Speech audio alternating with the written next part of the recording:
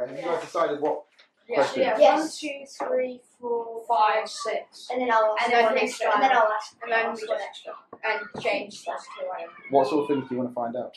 Uh, Well, The these. numbers. these, and then uh, most mostly the numbers, yeah. And then And how many people they've helped.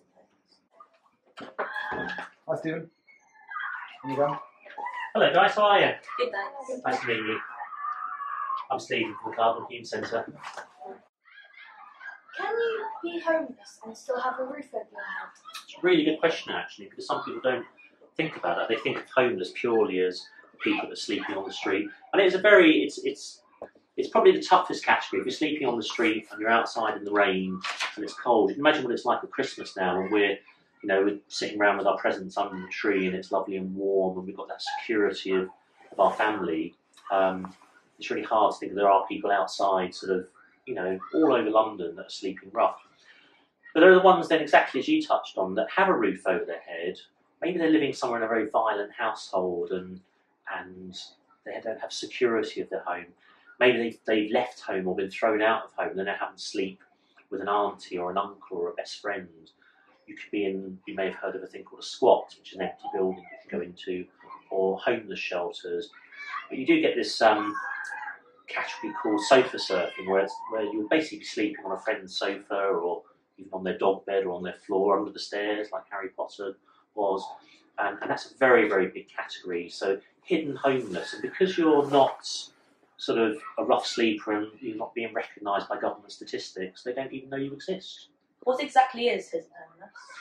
Hidden homeless is is really when you just don't appear on any any government statistics. You know, we spoke about just Yeah. 2,700 sort of official ones that sleep on the street.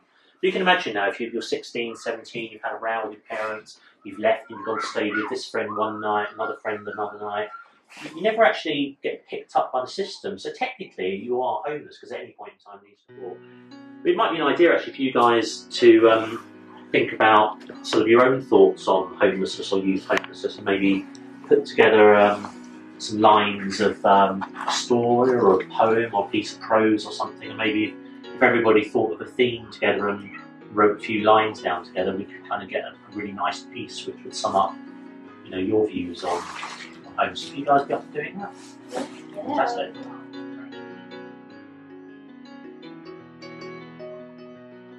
I pulled my blankets higher up as I sat under the dark bridge on that rainy November night. I heard the footsteps and conversation of a young couple back from a meal. I could smell the succulent chicken wafting through the air.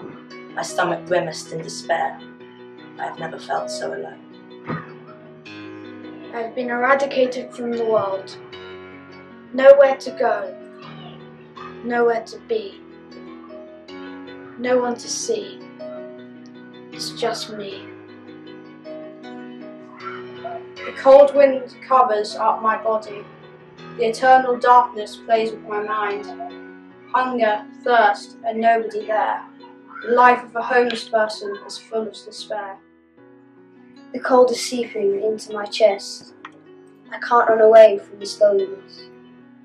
A few hours of hope, but then it's a slave. There goes my life, lost in the rain.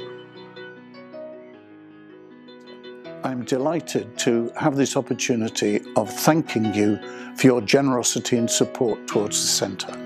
In fact, I'm rather glad you discovered Cardinal Hume Centre and the great work that it does through its staff to turn around so many lives of young peoples and families.